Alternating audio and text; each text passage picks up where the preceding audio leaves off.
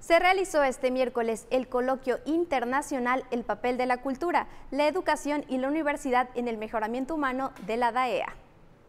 Este miércoles fue inaugurado el coloquio internacional El papel de la cultura, la educación y la universidad en el mejoramiento humano en la División Académica de Educación y Artes, donde estuvieron presentes los poetas Waldo Leiva de Cuba, Roberto Arismendi de México, Harold Alba de Perú, entre otros exponentes de la poesía que participan en los festejos por el 65 aniversario de la Universidad Juárez Autónoma de Tabasco. El secretario de Servicios Académicos de la UJAT, Luis Manuel Hernández Govea, dijo que los participantes aprenderán sobre decisiones profundas sobre de cómo la cultura influye en la formación de las identidades, valores y perspectivas de la sociedad.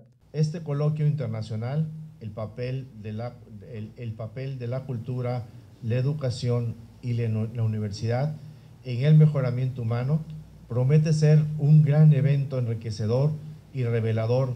Contará con la participación de expertos y académicos de renombre nacional e internacional que compartirán sus perspectivas investigaciones y experiencias sobre la interacción científica entre la cultura, la educación y el papel fundamental de las instituciones universitarias en el desarrollo humano. Por su parte, la directora de este campus en zona de la cultura, Telma Leticia Ruiz Becerra, señaló que es grato realizar este coloquio en beneficio de la comunidad universitaria.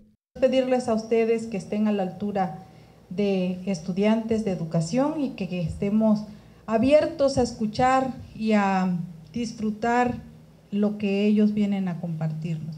Ellos son invitados que vienen eh, por parte de nuestro rector y que estamos en estos festejos. El encargado de abrir las participaciones en el tema de cultura fue el poeta Harold Alba. Este coloquio se realizó en el auditorio Dr. Heriberto Olivares Valentines. Asistieron académicos y estudiantes de la licenciatura en Educación de la RAEA. Con imágenes de Luis López, Armando Cortés para Radio y TV, UJAD Noticias.